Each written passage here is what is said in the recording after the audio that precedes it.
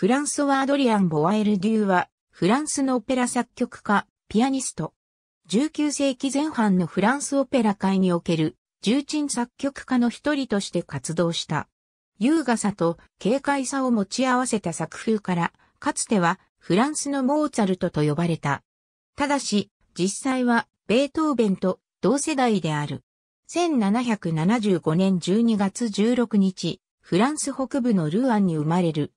父親はルーアンの大司教の初期であった。1783年に同地の大聖堂の少年聖歌隊に入り、歌唱法やソリフェージュを学ぶ一方で、同大聖堂のオルガニストを務めていたシャルル・ブロシュに、指示、またこの時期に、パリやボローニャへ向かい、エール・クープラン、G.B. マルティーニらにそれぞれ指示して、ピアノ、オルガン、作曲法などの音楽教育を受けた。鍵盤楽器奏者として認められた後、1791年に故郷に戻ってからは、ルーアンの聖アンドレ教会のオルガニストに就任、また、ピアニストとしても活動を開始している。1792年に作曲し、自ら初演したピアノ競争曲へ、蝶々は、この時期の作品で、彼の唯一のピアノ競争曲でもある。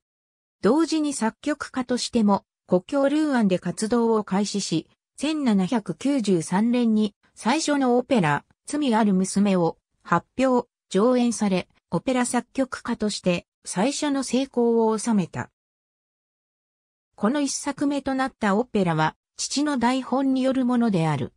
続けて1795年に2作目となった、ロザリーとミルザも上演は、成功を収める。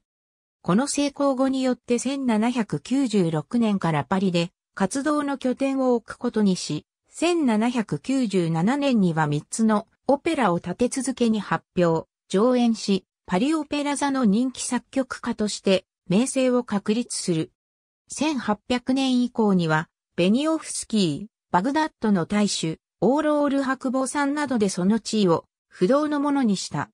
なおこの時期に楽器製造家のエラール家に迎えられ、そこではルイジ・ケルビーニやエティエンヌ・メユール、ロドルフ・クレゼール、ピエール・ロードらと親交を結んだ。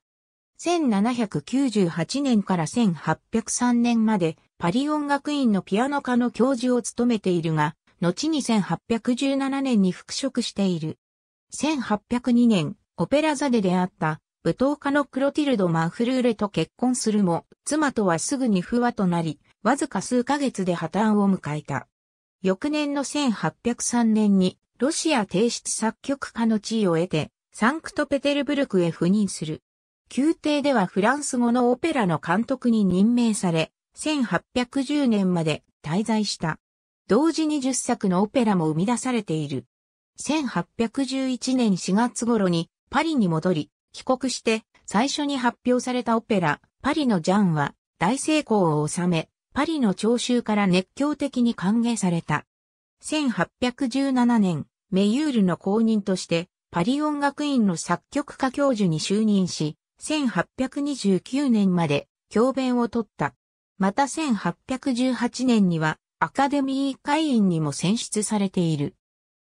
1825年には彼の最高傑作として評される白衣の夫人が初演され、好評を博す。白衣の夫人を発表以後、1821年のニア以降のオペラは成功作とは言えず不評に終わり、さらに結核性喉頭炎により健康を害したため、療養生活を送るようになる。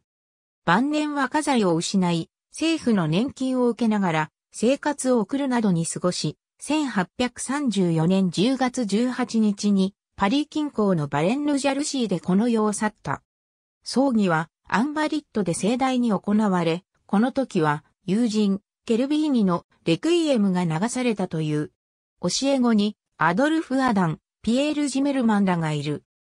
肖像が生涯に41作のオペラを残し、今日上演されることはなく、帰り見られてないが、バグダッドの大主や白衣の夫人の序曲は、今なお演奏会の人気の曲目に止まって演奏され、また、ハープ競争曲などの器楽曲も時折演奏、録音されている。ボワイルデューのオペラ作品一覧。ありがとうございます。